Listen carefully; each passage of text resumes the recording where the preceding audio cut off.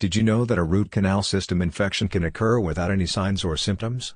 An infected root canal is made up of blood vessels, nerves, and connective tissue that can become inflamed or infected. An infected root canal occurs when germs in the mouth infiltrate the tooth pulp, which can arise as a result of a cracked or chipped tooth, a broken tooth root, damage to the tooth pulp, with or without damage to the tooth surface, dental procedures that are repeated, tooth deterioration.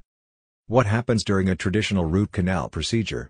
The dentist or endodontist removes the tooth pulp to treat the infection inside the tooth. Before beginning treatment, x-rays are taken, and the patient is given local anesthetic and a dental dam is placed. To gain access to the pulp, a hole in the crown of the tooth is created.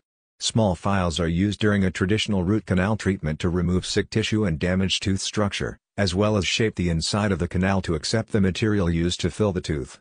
Once the canals have been shaped, the tooth roots are totally sealed off and a temporary filling is placed